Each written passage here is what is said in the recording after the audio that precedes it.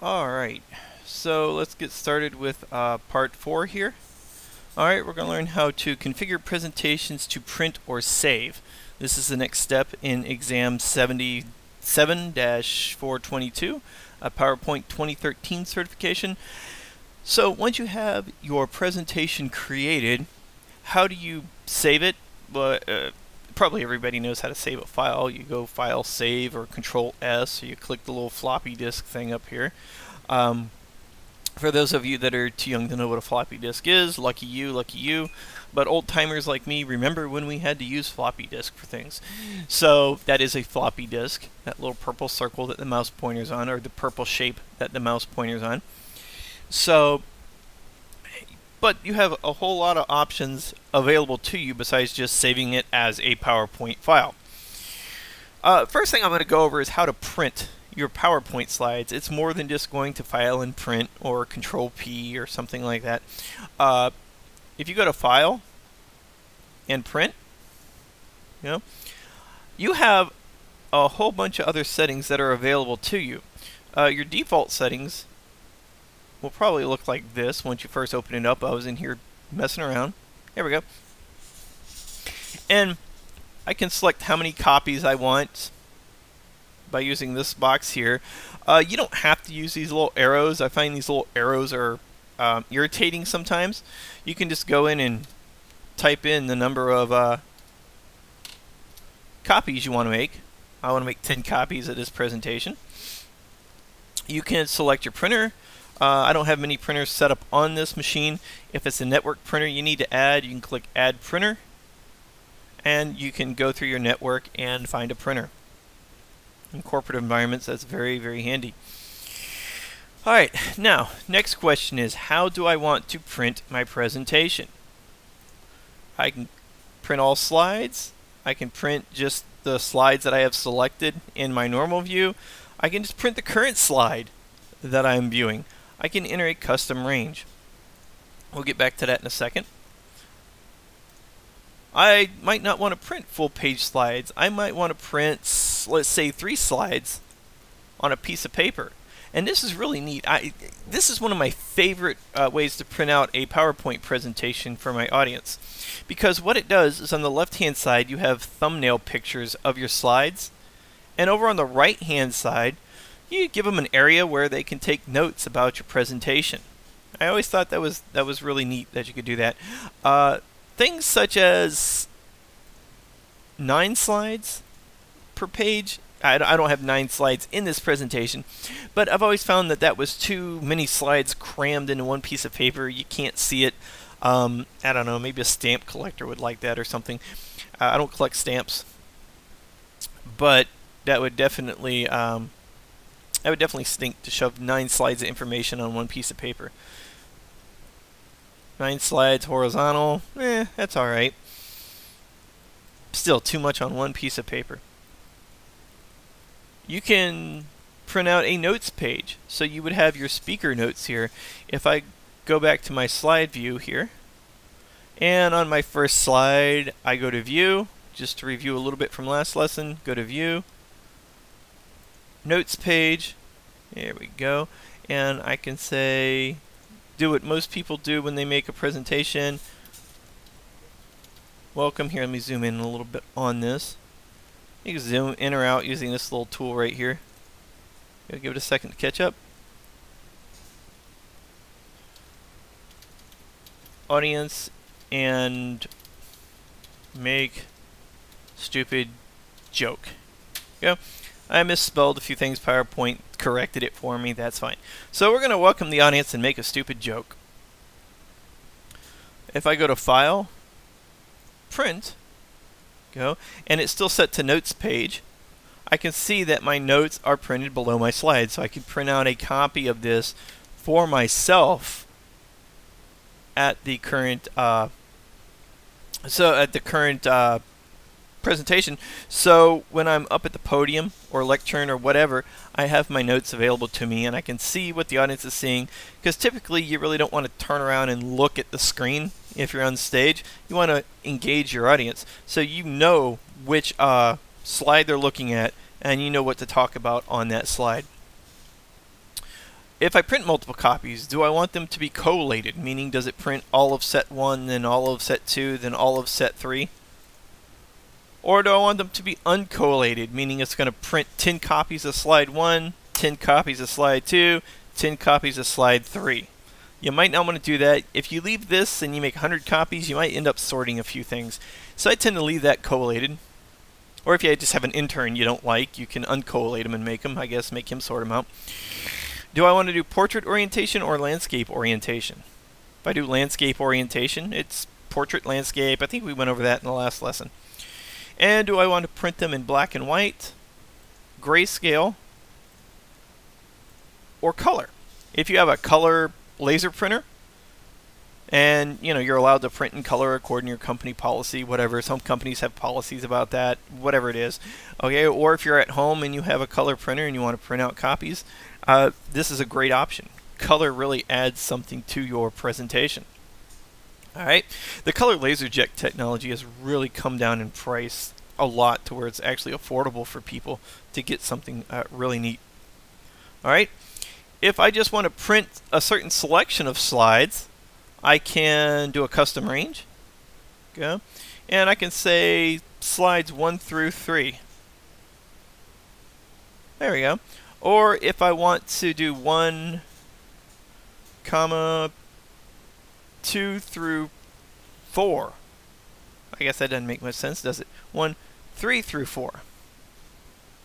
Go. Then that would print slides 1, slide 2, or excuse me, slide 1, slide 3, and slide 4. So you can enter any custom range you want. If you're doing multiple ranges, uh, you put a comma in between them. If you're doing a range, let's say 2 through 10, you put 2-10. Not a big deal. You can do a whole bunch of neat stuff with that. Right. Um, also, you could, if I go back to normal view here, I could hold my shift key down, I could select multiple ranges of slides. Alright, I know it's selected because of an orange border around it. Or, let me click off of that, Here we go. If I hold the control key down on my keyboard, I can select non-continuous ranges of slides. Then if I go back to File, Print, I could say, here we go, print only the selected slides. There we go. And it would only print those slides that I have selected in my normal view. Alright, let's say I want to send my slideshow to somebody. Let's say I'm making some marketing material, right? So what we can do is we can export this and we can say package presentation for CD. This has been around since PowerPoint 2000. All right, I, I, don't know if that's really when they started it, but that's, the earliest version of Office I can remember. So I'm going to go with Office uh, with uh, PowerPoint 2000. Okay, you click that, you click Package for CD. Go, and we can name this um, Test. Ah. Export, and it adds the presentation that you currently are working on. If you want to add a presentation or remove a presentation, you have those two options right there. You also have a button called Options that when you click it, it gives you, well, it gives you options. You can include any linked files that you have, embedded TrueType fonts, meaning if you have a font that is on your computer but it might not be on the other person's computer, you can embed those uh, into your PowerPoint presentation password to open, password to modify, so you have a little bit of security there. I'm just going to leave the defaults and click OK. And then you have two options. You can copy it to a CD, which means it immediately takes it and burns it to a CD or DVD. You can also copy to folder. I'm going to copy to folder. And I'm going to leave the option checked that says open folder when complete. I'm going to let it put it in the documents folder. I'm going to click OK. Uh, yes, I want to include linked files if I have any, which I don't, but we'll just put it like that. And what it does is it makes a folder for you. It has an auto run file, so when the CD, I can burn these files to a CD now, and then when I put that CD in a CD drive, it will automatically run it if auto runs turned on, which it typically is in 99.9% of the cases. The presentation package gives me all of my uh, images. It even gives me a web page that I can use. Double click on that.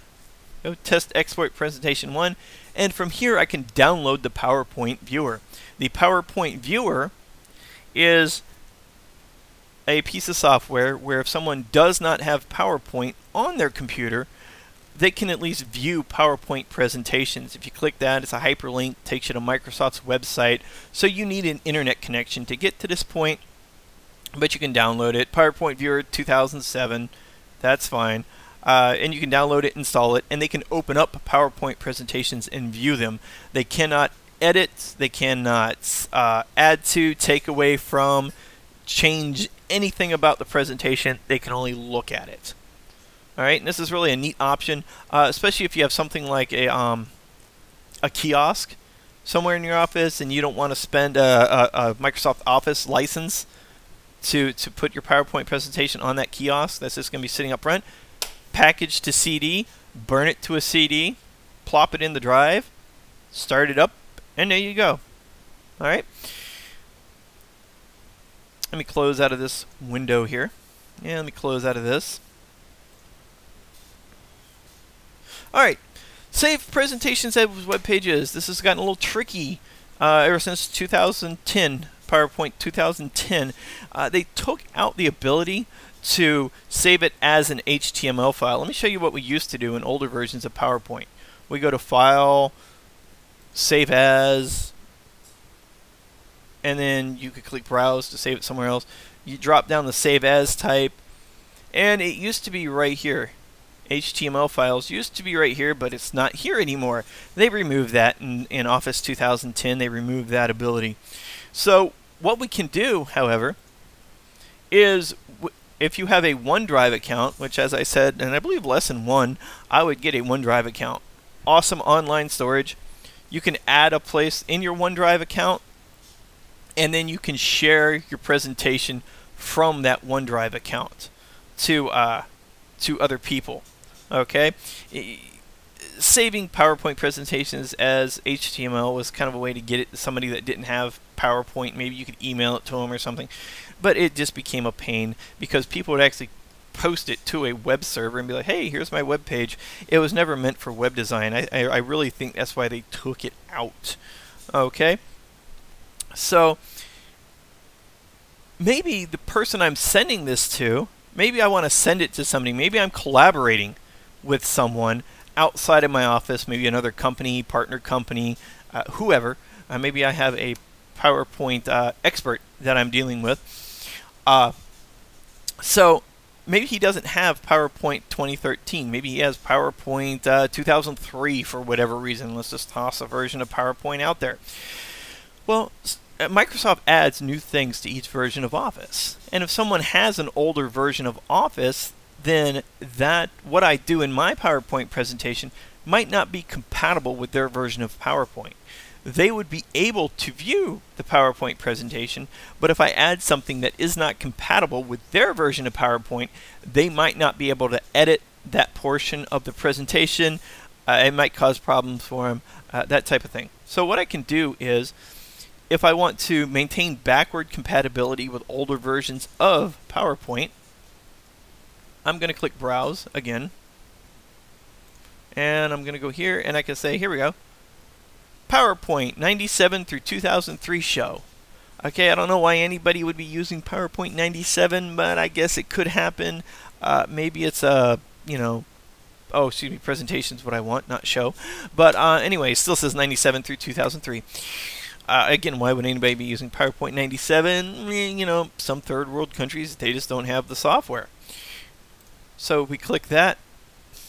We click save. There we go.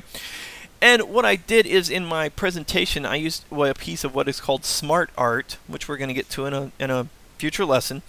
But I added that because I wanted you to see this error message. The following features in this presentation are not supported by earlier versions of PowerPoint. These features may be lost or degraded when you save this presentation in an earlier file format. Click Continue to save the presentation anyway. To retain all of your features, click Cancel and Save in one of the new file formats. Uh, Smart Art Graphic and any text in it cannot be edited when using versions of Microsoft Office earlier than Office 2007. So if the guy's using 2003, he won't be able to edit the text in the Smart Art object. It tells me which slide this is on too. That's really kind of neat. And I got a little help but, uh, link there if I need it. If I click continue, there we go. It saves it for me. Alright, it also puts it in compatibility mode, as you see up there.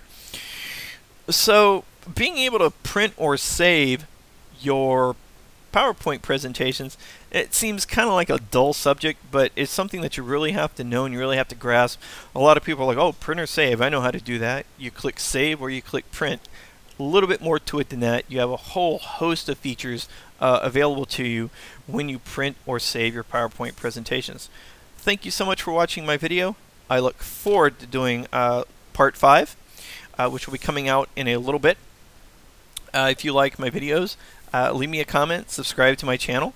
Alright, thank you very much for your time.